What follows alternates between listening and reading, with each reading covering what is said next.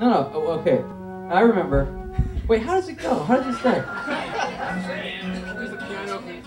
It's just the woodwinds and then the guitar chord. Yeah, yeah. Okay. It just seemed kind of like a silly charade to, to go on in that uh, traditional role of lead singer guy. So it would be more fun for me to play with everyone.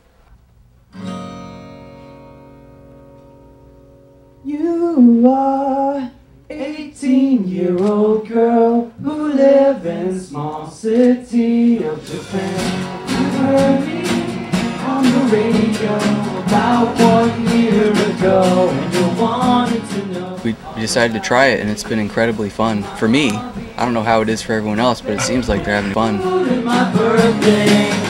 Why are you so far away from me?